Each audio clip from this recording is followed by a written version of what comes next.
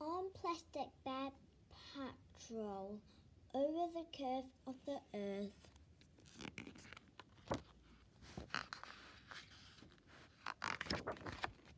On plastic bag patrol over the curve of the earth.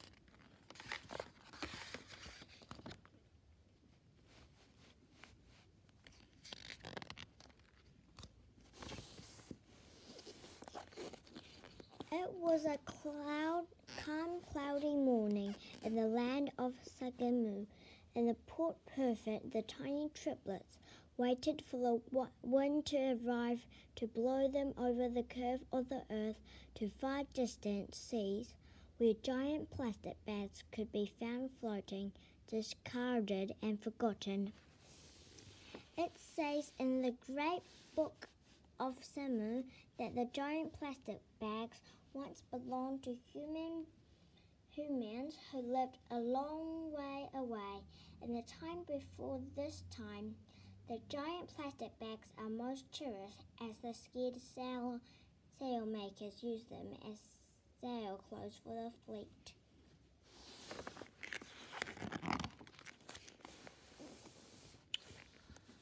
Of all the boats in Port Perfect that morning, one of the most striking was Davilon the Moorcat with two masts and a set of beautiful blue and white sail.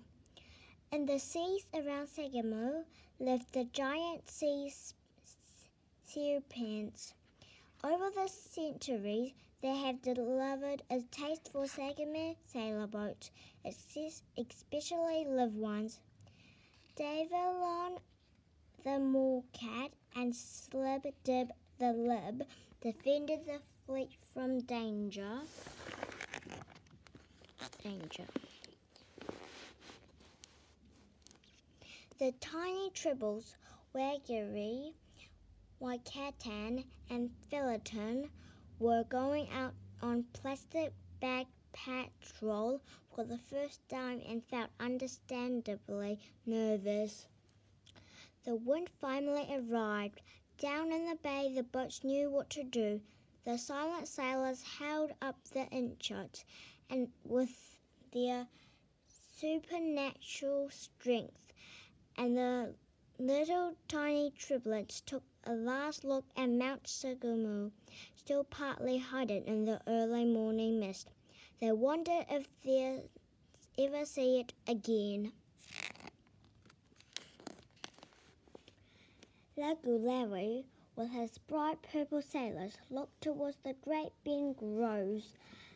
Great Bend, Great Bends are the main food in the land of the Sagamu. They are carved into tiny blocks by the giant beef grove workers for everyone to eat.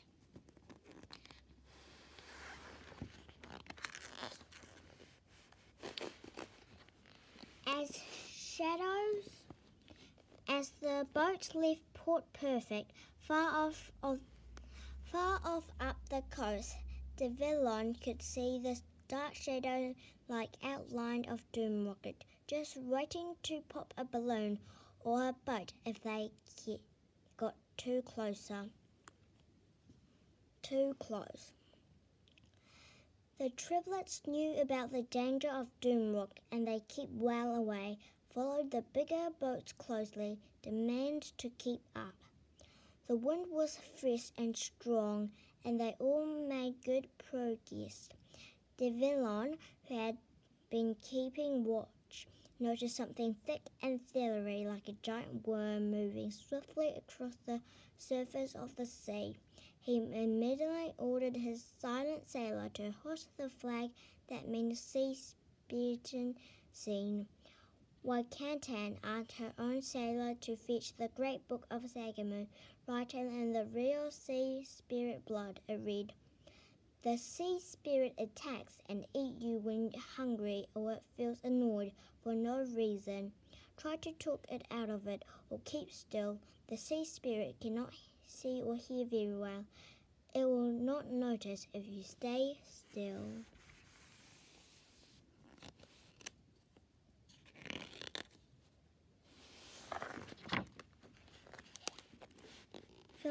This was the largest he could ever have imagined. He put on his brave face. Bagheera held her breath, trying not to shake. Suddenly it was upon them. He slithered just beneath the surface of the ocean well. It was an unpleasant moment. Then, as quickly as it had came, it was gone.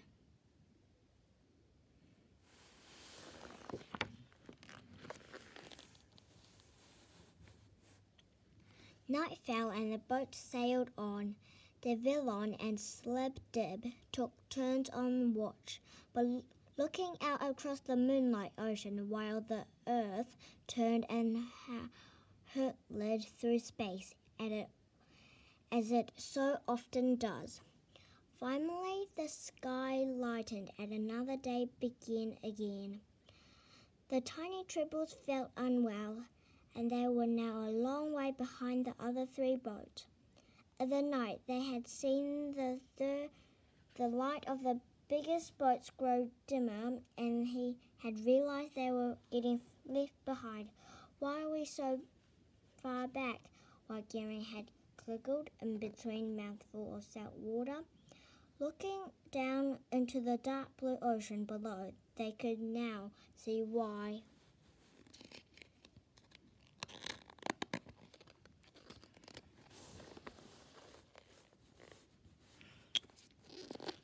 A bag sluggish thing hung there just beneath the surface of the sea. It was covered in slime, slow drifting, a plastic bag. Before another word was spoke, the flag for Exanton Rikud was flying from Pellington's mast. Soon all the boats had wandered large bent vine ropes around the slimy plastic bag.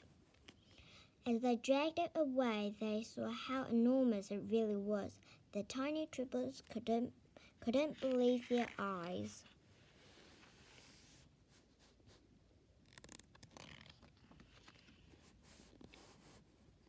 The sailor's cloth that the secret sailor makers could make out of this piece of plastic would be celebrated far and wide. It might even be written in the great book of Sagamu. Let's get moving. Let's get moving and be prepared to open your gun ports if someone looks at you as though they want to eat you. The villain said to the triplets, who weren't sure if he was joking or not.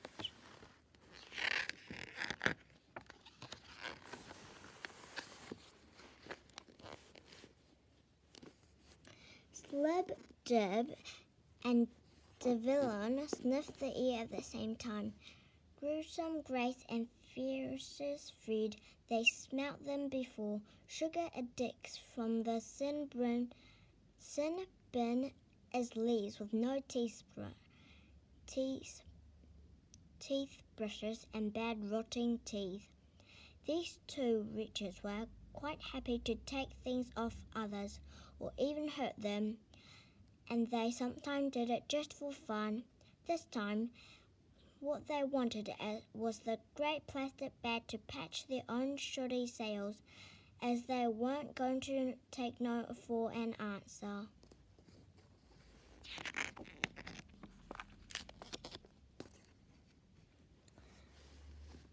Out on the corner of his eyes, corner of his eyes, the villain could see furious Fred trying to cut his way through one of the ropes carefully tied to the giant plastic bag. The villain fired a volley of sun-hardened giant Sagemu beams shot across the wave and Fred's only remaining front tooth suddenly left his mouth, blown clear away. With with blood sucking out of his mouth, returned to his slave.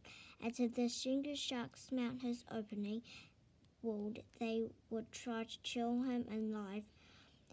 Grace followed him, pushing the big breaking waves through her hair while washing the reach of her swear words from her full mouth.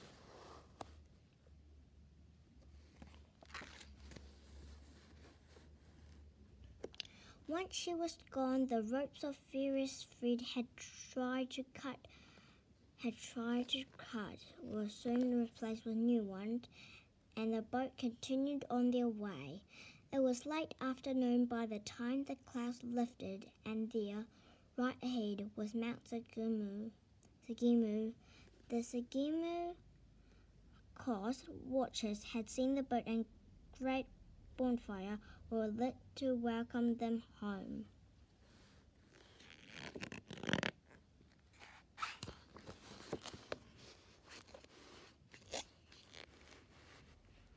On the beach, the giant plastic bag was held out and pinned down over the sand dunes until the whole of beautiful Bay Beach was covered in flaming plastic.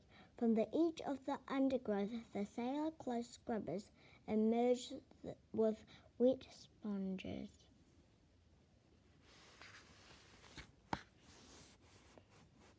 They swam over the massive plastic bag, quickly scrubbing it clean, restore it into its organized color before they lay an enormous spread of bright red plastic.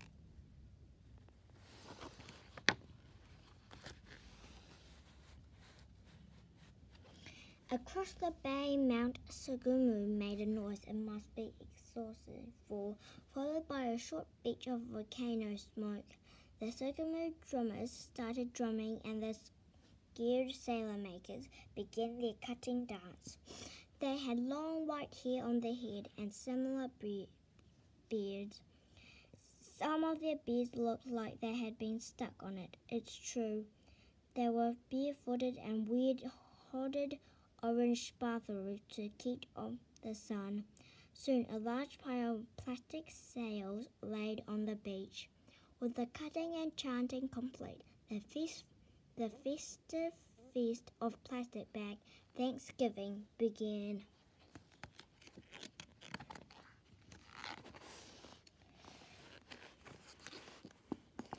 Large slabs of sliced and spiced Megumi beans were thrown on the opening fire and roasted.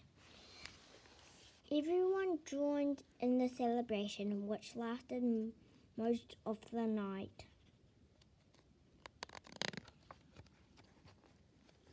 In the sky above, a rising gale sent the clouds rushing feet fast across the moonlight universe. The triplets were feeling extremely tired. They had never done so much sailing before. They had never seen a sea serpent, and they had never been attacked by a sugar addict from the Sinbin Isles. They each found the thought of a good night's sleep quite active. The gear raced over the ridge and in beautiful bay islands slowly closed on most of the sailboat. The silent sailors laid about the deck silently snoring.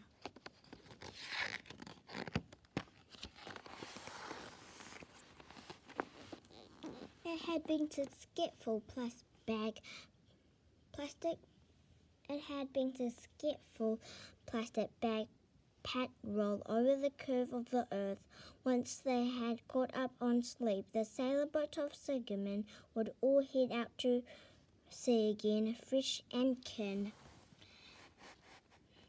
They would be back on plastic bag patrol, looking for sailors clothes and fighting to stay alive out on the hostile seas. Never mind the danger, it was always worth it for the sailing.